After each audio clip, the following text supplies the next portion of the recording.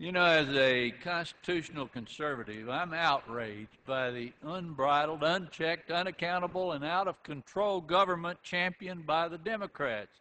The Wall Street rescue, the bailouts of Fannie and Freddie, the auto industry, cap and tax energy bill, the government takeover of health care, and court martialing Navy SEALs while giving terrorists rights.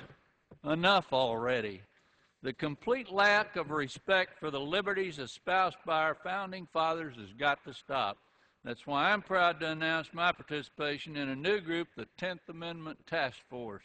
Sole purpose of the caucus is to rekindle the truth and foundation of freedom, like promoting personal liberties and responsibilities, championing freedom and free enterprise, restoring states' rights, and reining in government spending.